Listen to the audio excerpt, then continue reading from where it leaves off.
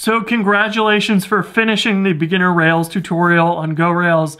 That was quite the project. We started from the very basics and worked our way into some complicated things like OAuth and background workers, and even deploying to production is actually a lot more complicated than it might expect. So where do you go from here? Well, take a look at the other videos that I have on Go Rails almost 400 videos. I'm sure we'll be over 400 by the time some of you watch this.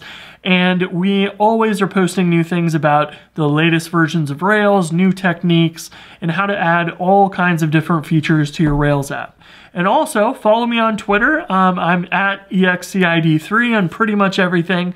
So you can find me there and on GitHub. And uh, send me a tweet if you succeeded and made it through this, this app.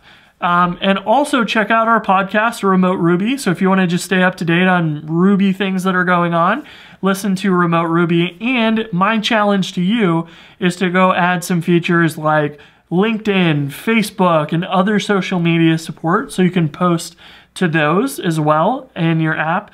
And see if you can upload images or maybe video alongside of your tweets.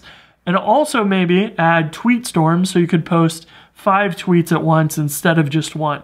And if you really want to take it the extra distance, you can add billing and actually charge for your service because that's exactly what Buffer does. So you could build your own version of Buffer that, you know, could be $10 a month or something instead. It's entirely up to you, but this is a really great foundation to go build a complete app. And even if you get no customers, building all those features really teaches you a lot about how production websites really have to get built. All those little details mean a lot. So that's it for this video and tutorial. I hope you enjoyed it. Let me know on Twitter if you did, and I will talk to you guys soon. Thanks for watching, and I will talk to you later. Peace.